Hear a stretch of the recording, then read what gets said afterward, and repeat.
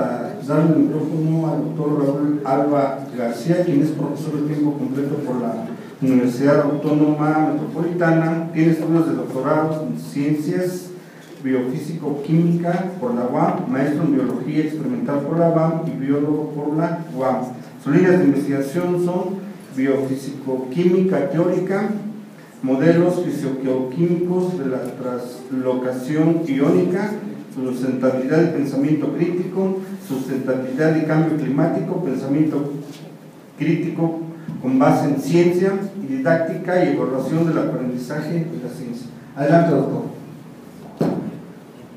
Bueno, pues primero que nada, bueno, buenas eh, tardes, gracias por la invitación eh, a participar en esta, en esta mesa en el colegio de la Federación de las Federaciones, la Federación de Colegios, la Federación de Colegios de Economistas de México. Em, bien, ya está. Nos hace que llegue allá. Bien, bueno, este micrófono está un poco fallo, voy a cambiarlo. Por la cosa de la transmisión a través de, del canal de YouTube de la Federación de Colegios de Economistas de República Mexicana, AC. Asociación Civil. Eh, bien, la invitación fue hablar sobre eh, ciencia y tecnología como base de desarrollo económico. Ya eh, Rolando nos ha dado una excelente y muy amplia ah, presentación sobre las bases económicas y la relación de la ciencia y la tecnología. Yo voy más aún el por qué. ¿Y de dónde sale esto? ¿De dónde hay, eh, es que hay relación entre la ciencia, la tecnología y la economía en las sociedades? Eh, se ha mencionado que se requiere la ciencia y la tecnología para la economía, pero esto surgió después de la Segunda Guerra Mundial o durante el, el desarrollo de las potencias eh, nacionales después de la industrialización eh, por la revolución industrial o después del renacimiento o a partir del siglo XVII con el advenimiento de la ciencia moderna o cuándo fue que sucedió eso. Uy, no sé si podríamos oscurecer esto un poco porque la imagen está un poco oscura, aunque esta la pueden encontrar en el Museo de Antropología. De hecho es un diaporama, no imagen, una fotografía tomé de un diaporama, ya que no se fotos no se deben tomar fotos con flash en los museos. Por eso la está un poco oscura, y, si eso fue una representación de algo que sucedió en la realidad hace algunos millones de años en África, como mencionó Rolando, hace tres y medio millones de años, pues creo que le debe haber dolido un poco. O quizá no si la incisión fue en la zona sensorial, entonces quizá se anestesió antes de morir.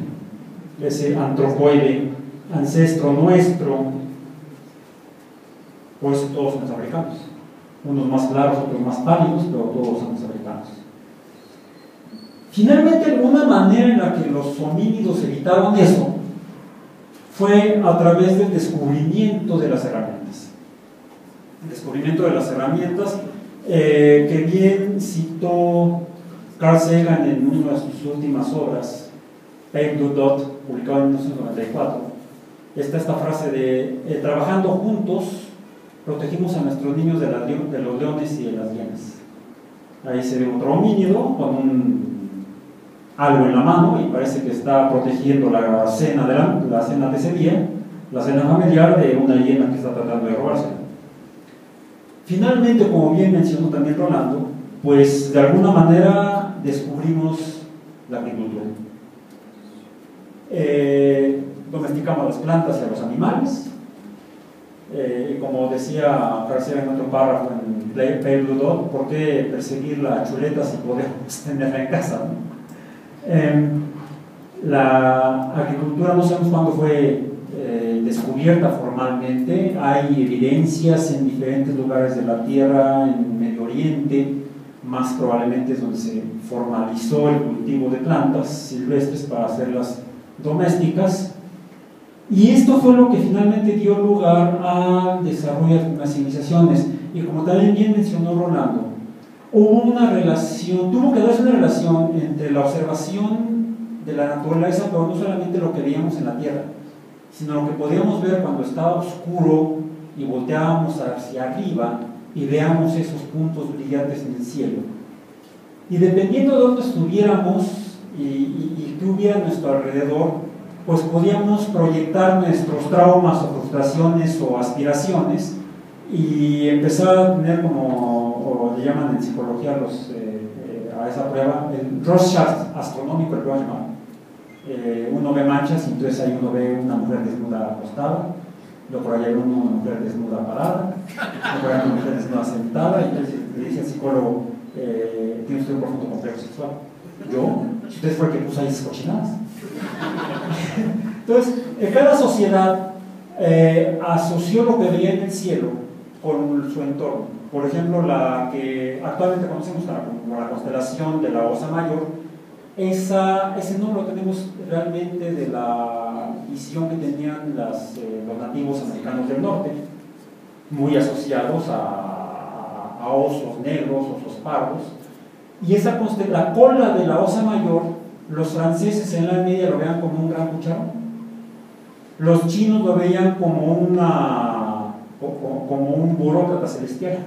Entonces, según los traumas de cada sociedad, proyectan el cielo sus eh, imágenes junta puntitos como en esos juegos de los periódicos y a eso llamamos las constelaciones. Y algo que se observa o que se nota cuando uno ve a lo largo del tiempo, de bastante tiempo, hacia el cielo en la noche, es que las estrellas están exactamente arriba de uno, cambian conforme pasa el tiempo. De ahí surgió que los asirios hayan incluso organizado estos grupos de estrellas que están arriba de nosotros en diferentes épocas del año, las dividían, bueno, de entrada descubrieron el año, descubrieron el año como el movimiento del lugar donde sale el sol por el horizonte cada día. Si lo vemos todos los días, o más días eh, que podamos, conforme pasa el tiempo, vemos como que el sol se va moviendo cada día sobre el horizonte, de repente se detiene y luego se regresa hasta el mismo lugar donde estaba exactamente hace 365 y un cuarto de día. Fue así como los sumerios, los asirios, los egipcios, los babilonios, los chinos, los mayas, los olmecas, los eh, inuits, los kul, todos descubrieron el año. Era el año el movimiento del sol sobre el horizonte al amanecer y al atardecer. Y conforme cambia el sol de posición, también cambiaban las estrellas en la noche. De ahí que los asirios generaron 12 grupos de estrellas constelaciones, las constelaciones del zodiaco. Y justo con el crecimiento de algunas plantas coincidía con alguna constelación. Con el florecimiento de las plantas coincidía alguna otra constelación. Con la maduración del fruto otra. Y es así como los antiguos hicieron los calendarios relacionando el cielo y la tierra, sobre todo con la vegetación. Ah, además con los organismos que migran. Cambia la temperatura, cambia la iluminación, sobre todo más hacia el norte o más hacia el sur, no tanto en el Ecuador. Y ahí fue donde las sociedades descubrieron el calendario, realmente lo descubrieron, lo descubrieron a partir de las observaciones. Entonces, quizá desde hace tres y medio millones de años hemos sido algo parecido a los científicos observadores de la naturaleza y descriptores de la misma. Eso es lo que hoy en día podríamos llamar ciencia. Observamos la naturaleza y tratamos de entender qué carambas es. Pero algo que sucedía es que lo asociábamos con seres que estaban allá arriba a los cuales no podíamos tocar. Seres más poderosos que nosotros. Seres a los que llamamos dioses. Y asumimos que serían esos dioses quienes hacían que las plantas crecieran o germinaran. Es decir, siempre asumimos que debe haber una para un efecto debe haber una causa. Lo mismo asumimos en ciencia.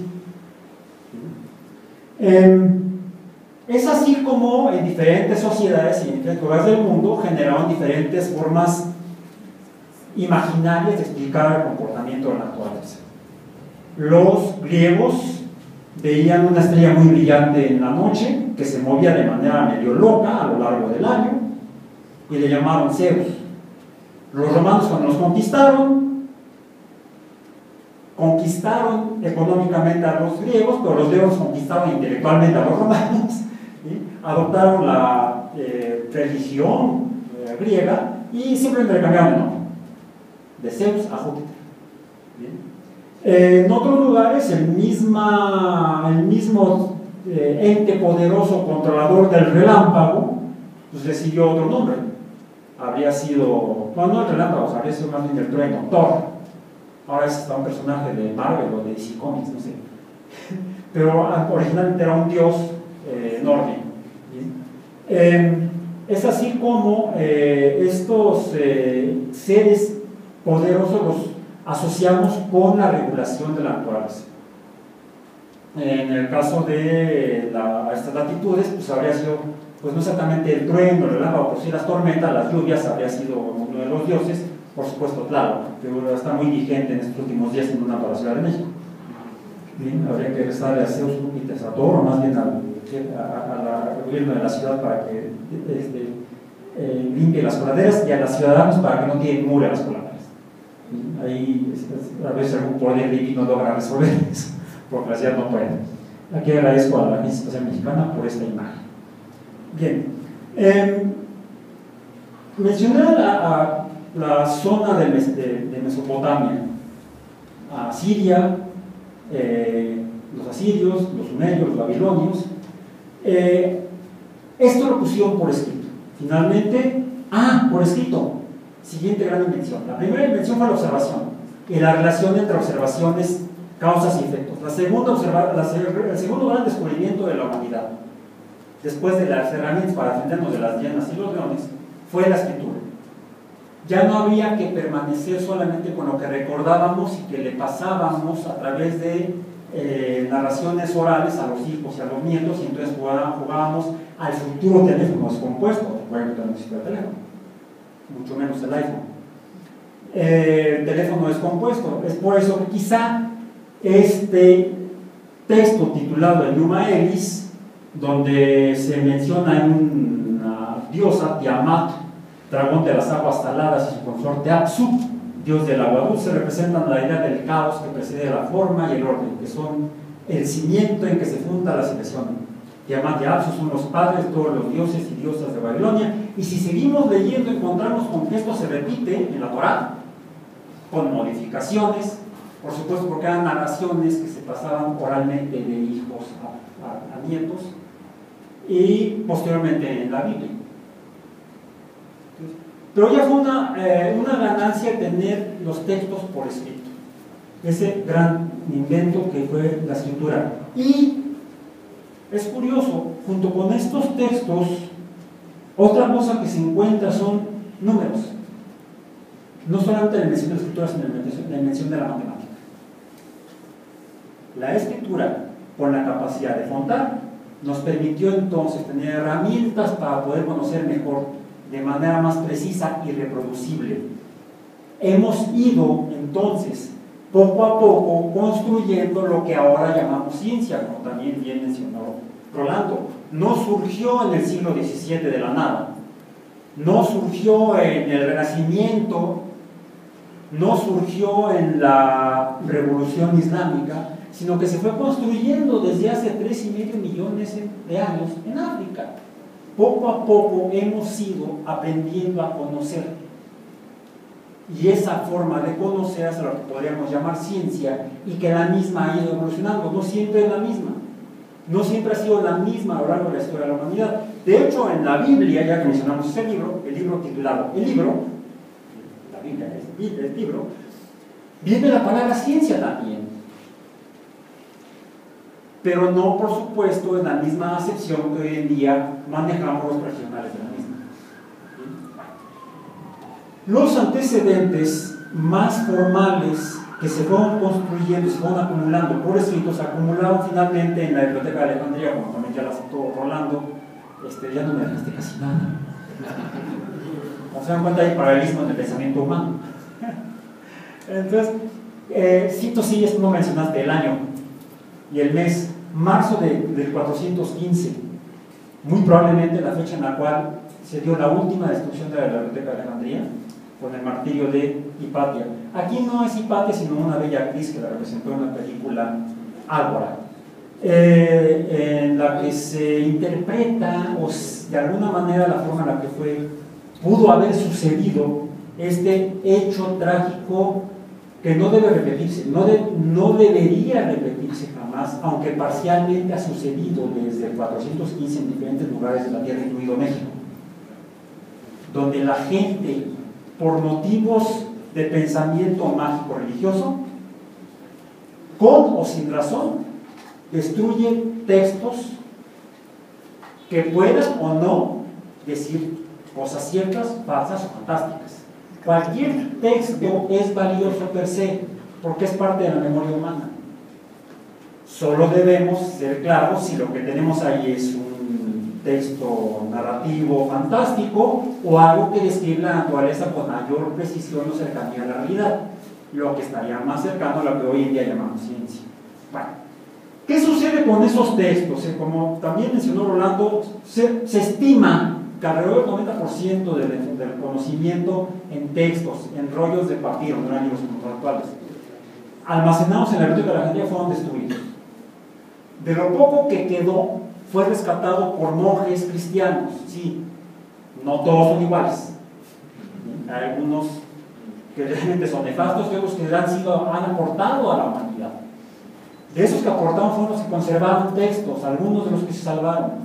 De lo poco que sabemos de Eratóstenes es gracias a ellos. Lo poco que sabemos de Arquímedes es gracias a ellos. Lo poco que sabemos de misma Hipatia es gracias a ellos. Finalmente en el siglo VIII se da la revolución islámica. A partir del el, cristianismo surge a partir del judaísmo y a partir del cristianismo surge el islamismo.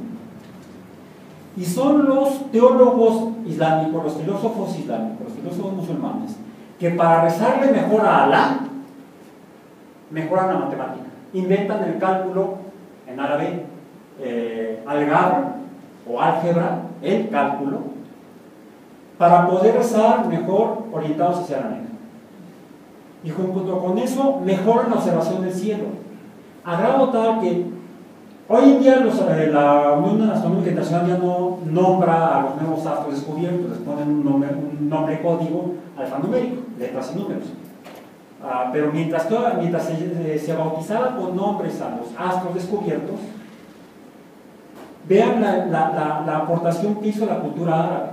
Dos tercios de los astros que tienen nombre lo tienen en árabe.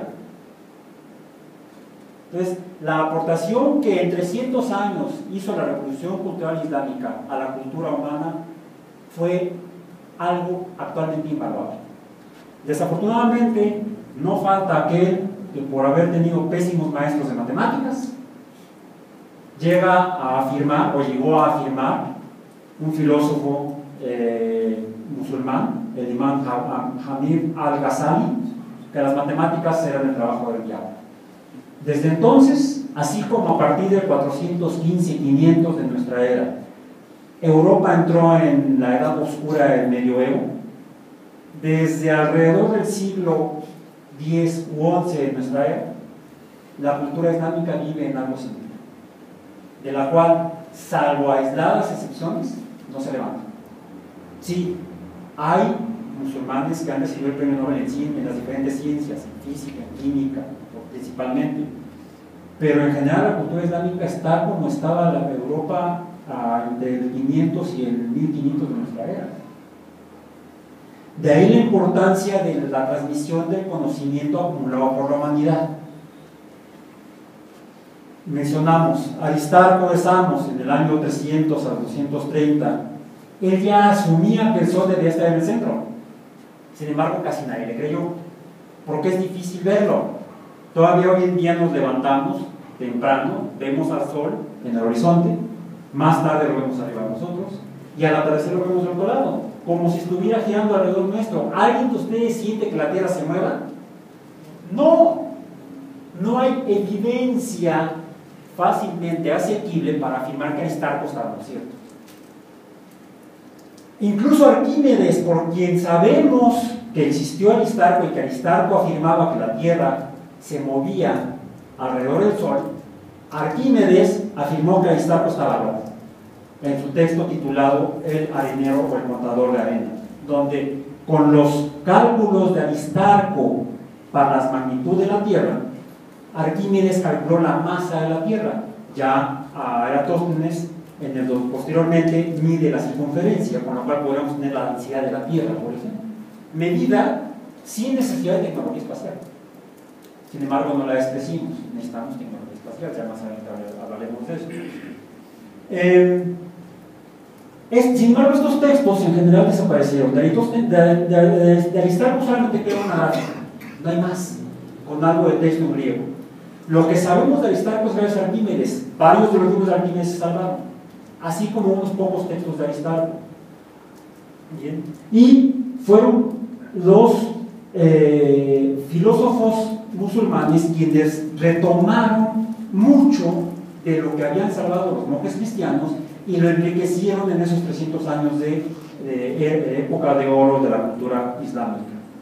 De hecho, Nasir al-Dintusi, en el siglo XIII, hizo diagramas en los cuales luego Copérnico se basó para publicar su obra de las revoluciones en 1543, poco antes de morir. 1543. De hecho, Copérnico, si bien eh, publica gracias a que su único alumno lo impulsó para que lo hiciera, y de hecho fue el que se encargó del trabajo editorial, eh, Reticus,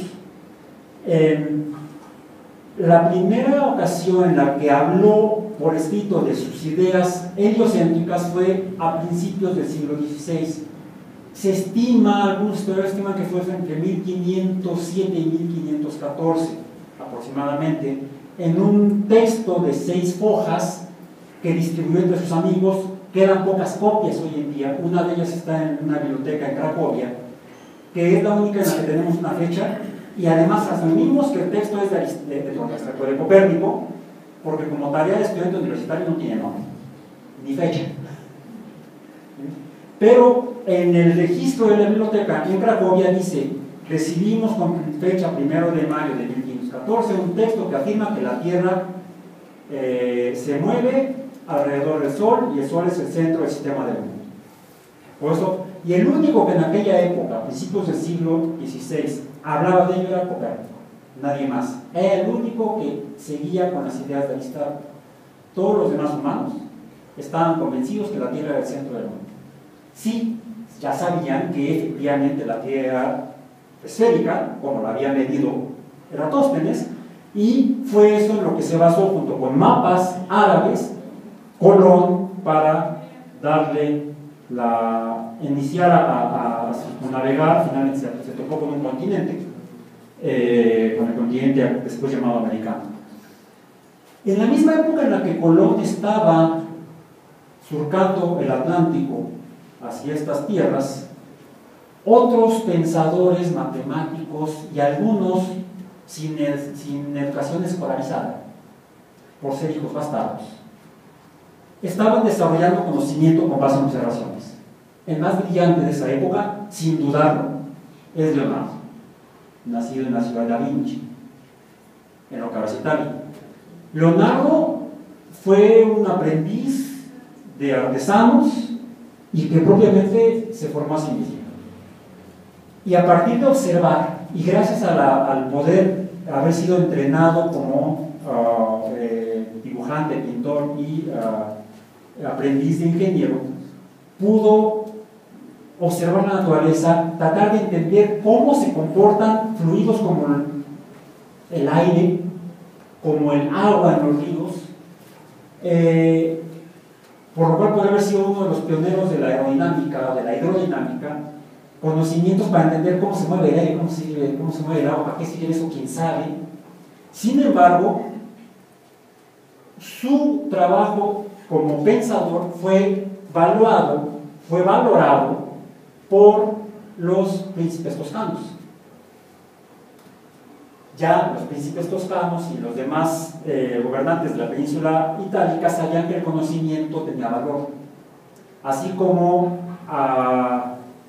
Aristóteles llegó a ser usado, bueno, llegó a ser empleado, vamos a decir, por los atenienses para la defensa de la ciudad, para el diseño de armas y estrategias, no solamente era matemático, no solamente era geómetra, también era ingeniero. Bien, pues Leonardo también era usado su conocimiento de la ingeniería, de la matemática, de la geometría, para poder diseñar armas, incluso uno de los primeros tanques de los que se tiene registro. Entonces, hay un vínculo estrecho entre el conocimiento y el uso del mismo, lo cual echa por tierra ese modelo de ciencia básica y aplicada.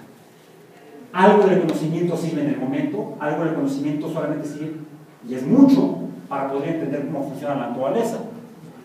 Como por ejemplo lo que hacía eh, Galileo. Galileo era matemático, realmente, y astrónomo y astrólogo, aunque no tanto astrólogo como astrónomo, bien, y era muy curioso, se enteró de un tubo que se había diseñado en Holanda para observar barcos, él lo usa para observar el cielo, y descubre, por ejemplo, que una mancha en el cielo llamada Vía Láctea eran estrellas.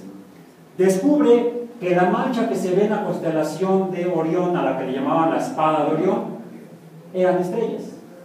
Descubre que en esa estrella que mencionamos hace rato, Júpiter o Zeus, no estaba sola. Había alrededor de ella otras tres o cuatro estrellas, girando alrededor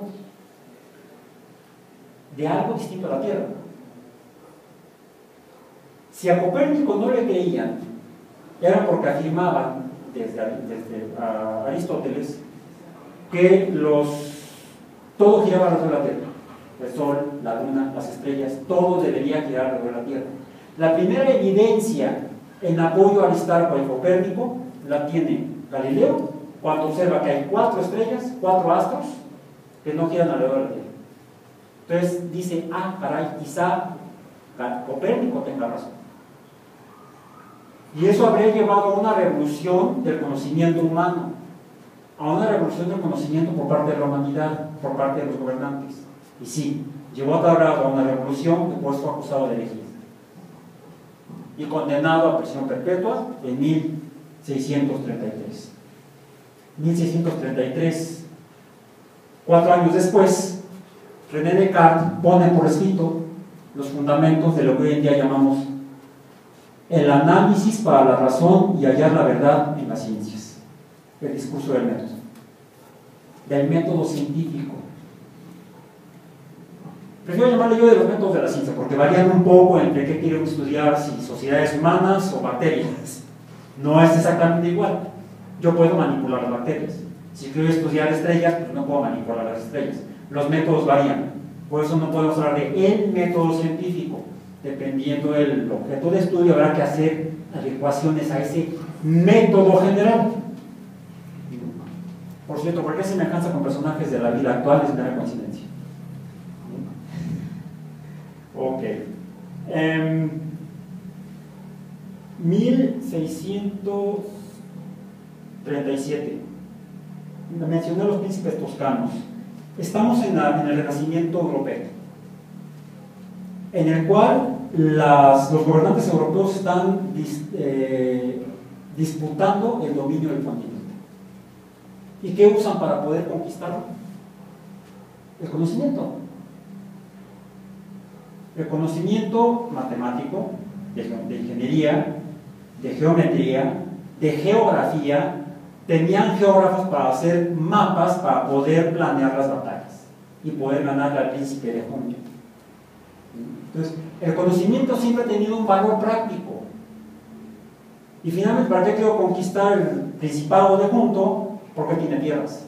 Y que esas tierras son productivas productivas en cultivos, productivos en agricultura o en ganadería, o si es un territorio que tiene salida al mar, pues para actividades piscícolas, pesca, etc.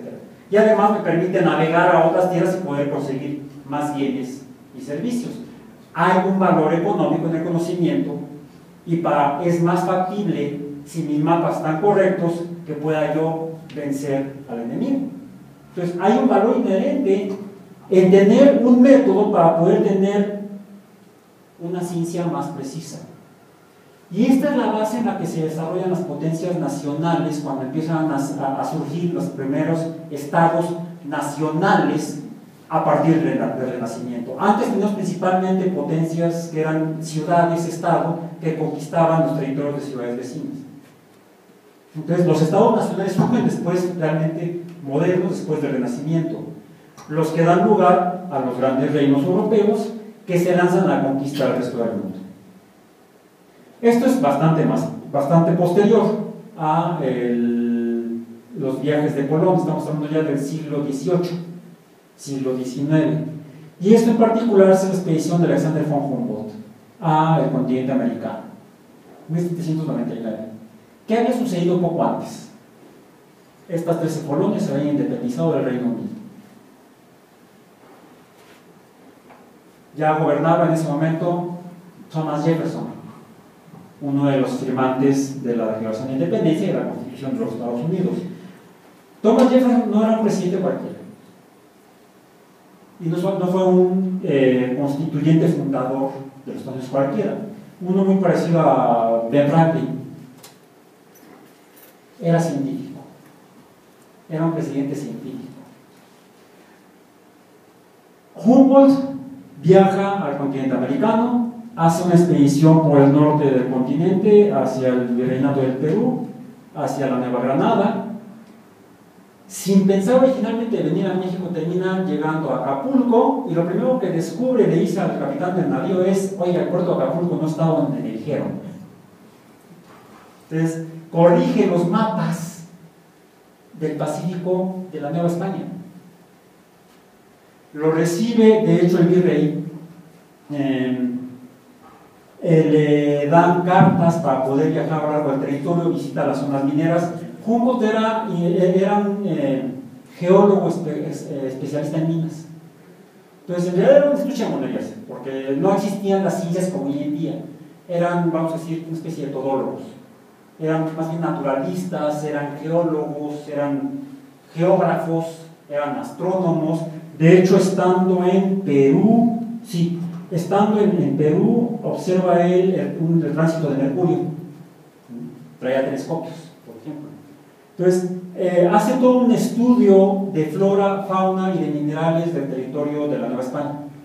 Termina su viaje por México, empieza en 1803, las fechas 22 de marzo de 1803, y sale del puerto de Veracruz en marzo de 1804. Está un año completo en en la Nueva España. Viaja a La Habana y en lugar de regresarse directamente a Europa, viaja a Washington. Y en Washington era esperado ya por Jefferson. Jefferson acababa de, había acabado de realizar la compra de la Luisiana. Se estaban expandiendo hacia el occidente. Y lo primero que hace es invitar a a, Humboldt a cenar a la Casa Blanca y lo último que hace es pedirle la información sobre la Nueva España. Esas son palabras de uno de los secretarios de Jefferson. Nunca adquirió más información que leyendo todos los textos que tenía a su alcance. Toda esa información la obtuvo directamente de Humboldt, quien posteriormente publicó un ensayo sobre el reino político de la Nueva España. Esa información fue usada posteriormente por los. Eh, es más, posteriormente fue ese mismo año, de 1804, año en el que Jefferson patrocina la expedición de Lewis y Clark hacia el oeste del continente. Llegan de hecho al Pacífico. Si bien recorren lo que había sido la Luisiana francesa y llegan al norte de California, la, encuentran eh, las características geológicas principales de la costa del Pacífico norteamericano. 1804, 1806, en la expedición de Lewis y Clark, y posteriormente se da la migración de colonos norteamericanos al territorio tejano y el resto es historia la independencia de Texas, la anexión a los Estados Unidos, la declaración de guerra por, eh, bueno, el inicio del estado de guerra entre Estados Unidos y México por la anexión de Texas, y en 1847, 1848, que se firma el Tratado de Guadalupe Hidalgo, se cede, bueno, se compra en 12 millones de dólares el territorio norte de la Nueva España, de sea Nueva España, lo que entonces era México, donde está precisamente la California, en la que al año siguiente, 1849, inicia la fiebre de oro. O sea, finalmente esas expediciones iban en búsqueda de bienes con alto valor económico. Todo sustentado en investigación científica. Y logrado a través de de tecnología, finalmente. Hablando de tecnología y hablando de estados nacionales, misma época, siglo, principios del siglo XIX, están las guerras napoleónicas. Napoleón, Napoleón fue un gran conquistador. ¿Por qué? Porque era un excelente estratega militar, no solo por eso. Era oficial de artillería. Un oficial de artillería que usa cañones. Los cañones, ¿cómo funcionan? Tiro parabólico. Antes del tiro parabólico, piensa estar seguro que el cañón no vuele y no hagas tú el tiro vertical. O más bien, la expansión tipo Big Bang.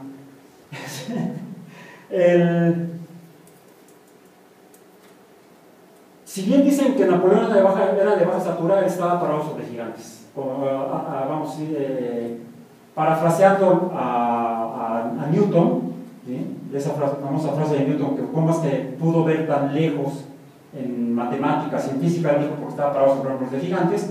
Bueno, Napoleón estaba parado sobre hombros de gigantes como Lavoisier, como Charles, como Gay los fundadores de la física de gases, con base en la cual funcionan los obuses de artillería. Y sí, si llegó a poner en jaque Europa Napoleón, fue porque su tecnología en el momento era mejor. Sin embargo, no era el poseedor de la verdad única de la tecnología o de la ciencia de los gases. Estaban eh, Dalton y finalmente está eh, Watt, James Watt, británicos, que también, de hecho, eh, la ley de Charles fue descubierta simultáneamente por Dalton de manera independiente, pero lo que termina imponiéndose después de las guerras napoleónicas para el control del mundo es ya no solamente las leyes de los gases, sino el nacimiento de la termodinámica a través de los trabajos de Watt que dieron como lugar el desarrollo de la tecnología basada en, eh, combustión para el motor a combustión externa o la máquina de vapor. Y con la máquina de vapor se movió la humanidad durante todo el siglo XIX hasta bien entrado el siglo XX Todavía en la Segunda Guerra Mundial, eh, la principal maquinaria que movía la maquinaria bélica eran los ferrocarriles a vapor. Aunque ya existía el motor diésel, era altamente ineficiente. Todavía no, eh, era tan, eh, tan operativo como la máquina de vapor. Por eso ilustré con esta que está aquí en la lista. Ok, la Revolución Mexicana se pegó en trenes a vapor. Eh, entonces, finalmente, es la tecnología basada en ciencia. Llamen empiria. La empiria es, a través del ensayo y error, entiendo cómo funcionan las cosas. Cuando ya hago una presuposición, una hipótesis, y luego trato de confirmar si, mi presuposición es cierta, llego a la tesis, que si la ratifico entonces se convierte en una ley o en una teoría, cuando es todo un cuerpo de leyes, ha sido la base del desarrollo de la tecnología a lo largo del siglo XX y en lo que va del siglo XXI. La Segunda Guerra Mundial fue una guerra fundamentalmente tecnológica y quien la ganó fue por tener el mejor conjunto de conocimientos científicos operativos e, y usables. Si Alemania no tuvo la bomba atómica, a pesar de tener varios premios Nobel en física, fundadores de la física en la cual se fundaba la física atómica, la bomba atómica, fue porque sus líderes eran analfabetos en ciencia, profundamente motivados por pensamiento mágico, como Hitler y Goering y Himmler. Tenían premios Nobel en física, pero no los apoyaron económicamente. Fue por eso que el proyecto de la bomba atómica alemana nunca funcionó, a pesar de haber llegado a tener avances incluso en, materias primas, como sucedió, como fue eh, el hecho de las, plantas de agua pesada en Noruega. O sea, sí estaban desarrollando, sí le metieron dinero, pero no es suficiente, porque le llamaban, como bien también dijo Rolando hace rato, eh, etiquetaron a mucha de la ciencia de la física nuclear como ciencia judía. Y como el judío era el enemigo, pues cómo vamos a tomar en cuenta su conocimiento para desarrollar nuestras armas. Si Alemania perdió la Segunda Guerra, en gran medida fue por analfabetismo científico y pensamiento mágico.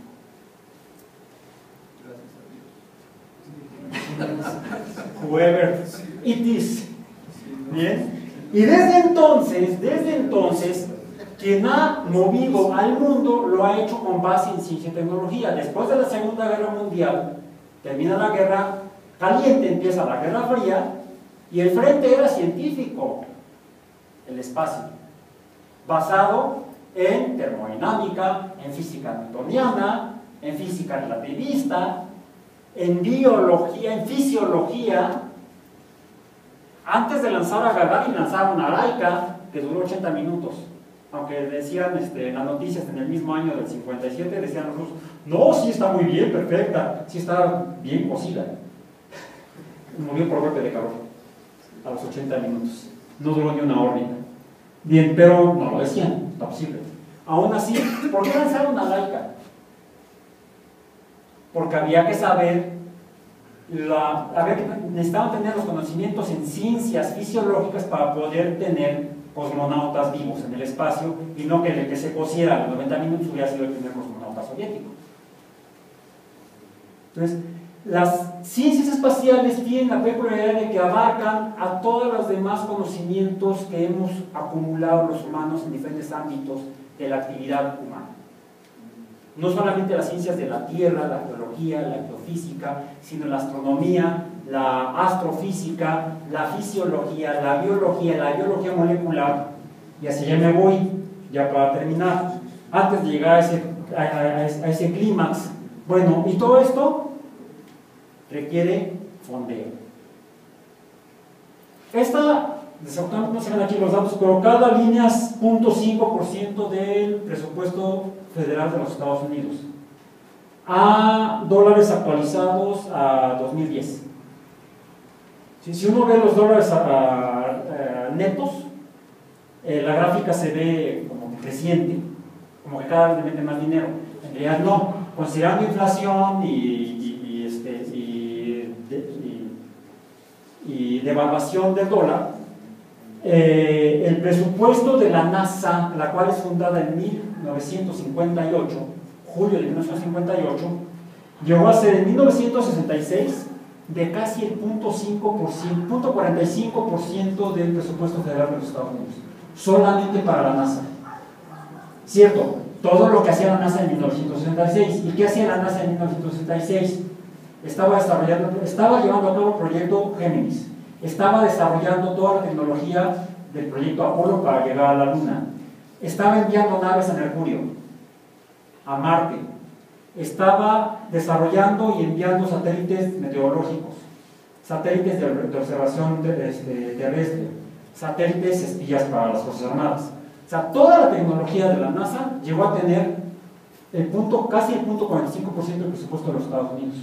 Hoy en día está arribita del punto 5. Y aún así hace muchísimo. Bueno, 1966 es un año crucial, no solo en los Estados Unidos, fue en México. La década del 60, no solo la del 50, que mencionó Rolando. La década del 60 culminó algunas de las visiones de eh, la década del 50. En 1957, la Unión Soviética lanza el Sputnik. Los Estados Unidos hacen, los Estados Kaputnik con el Explorer que explotó en la plataforma. En enero del 58 lanzan el, el finalmente. En 1957 la Universidad de San Luis Potosí estaba lanzando cohetes. En diciembre del 57 la Secretaría de Comunicación y Transportes empieza a construir cohetes. En 1964, el presidente López Mateos crea por decreto la Comisión eh, Nacional del de, eh, Espacio Exterior, la CNWE, por decreto presidencial ahí dice, encargada de controlar y fomentar en México todo lo relacionado con la investigación, exploración y utilización con fines pacíficos del espacio exterior. No, me gusta leer las imágenes, pero al fin sí lo voy a hacer. El siguiente párrafo es, es fabuloso. Su nacimiento y su desarrollo responden a una necesidad inaplazable. Este es esta es la primera página del plan de desarrollo de la agencia, de la, Comisión Nacional del Espacio Exterior en 1965. Es lo que decía el gobierno federal en 1965 solamente para, el, el uso del espacio. Inaplazable. En 1964 se inicia el proyecto del Centro Nuclear de México, actualmente el INIM. 1966 se creó el Instituto Mexicano del Petróleo, donde se desarrollaba ciencia básica, etiquetemos así, y ciencia muy aplicada. Bueno, la Comisión Nacional de Espacio Exterior fue extinguida por decreto presidencial en 1977. El Centro Nuclear ya no se llama así, ahora es el Instituto Nacional de Investigación Nuclear, el, el cual está de muy de capa caída, y no digamos el INP. ¿Qué pasó con el país? Le estábamos apostando a la ciencia y a la tecnología para el desarrollo económico del país. Ya Rolando nos dio una buena luz de qué sucedió. Pero aún estamos a tiempo. Comencé mostrando un antropoide medio comido en el, en el, este de África hace tres y medio millones de años. Posteriormente descubrimos la agricultura y la ganadería y establecemos las primeras ciudades en la Tierra. Bueno, tenemos ya los humanos, los humanos y varias naciones de humanos, una ciudad en el espacio, desde hace 16 años constantemente habitada. No es un campamento, es una ciudad en la que todos los días hay al menos tres humanos, no están de vacaciones, están trabajando en ciencia y tecnología. Básica, aplicada, bueno, les puedo decir, ciencia y tecnología pagada por el presupuesto de los estados nacionales que participan ahí, Rusia, Estados Unidos, Japón, eh, Canadá, eh, Gran Bretaña, a pesar del Brexit, España, Francia, Alemania, Noruega, eh, Finlandia, Suecia, estuvo Brasil, ya no está, y va a estar por lo menos hasta 2024. Bueno, ¿y qué están haciendo? Dije, eh, parte, eh, parte de la investigación se está pagando con dinero del erario de esos países. ¿Y de dónde está la otra parte que me he mencionado? Capital privado. ¿Qué están investigando? Asuntos de física del espacio. Están investigando todo lo que se imagina. Desde comportamiento humano hasta genética molecular. Todo. Y de hecho, ya hay ahorita en el mercado, en el mundo, una vacuna producida originalmente en la estación espacial. No es gasto la ciencia y la tecnología, es inversión. Y aún estamos a tiempo porque constantemente se está innovando, constantemente se está desarrollando. Sí, fue una tragedia que cerraran la Comisión del Espacio Exterior en 1977, pero ya tenemos desde 2010 una agencia espacial mexicana que requiere el apoyo, igual que el INIM, igual que el IMP, igual que las universidades públicas y privadas, porque esta es una tarea de la humanidad. Finalmente, como bien dice mi maestro Marcelo Sergio, no hay dos epistemologías, no hay una ciencia básica y una aplicada. Hay un conocimiento que nos es útil ahorita y otro que algún día nos será útil y ahorita es emocionalmente útil. Es bello descubrir, es emocionante descubrir, es apasionante descubrir. Además, ese conocimiento nos mantiene con los pies en la tierra. Cualquier tecnología para que sea realidad debe estar basada en hechos y no en propaganda, no en publicidad, no en relaciones públicas. Pero sí hay que cacarear el huevo. Sí necesitamos socializar la ciencia. Y la ciencia es el conocer a través de la experimentación y la observación sistemática. La ciencia no son la física, la química, la biología, las matemáticas o la astronomía. La ciencia es esa forma metódica de preguntarnos cómo es el mundo y cómo lo necesitamos entender porque estamos en un parteaguas histórico, el primero después de hace tres y medio millones de años.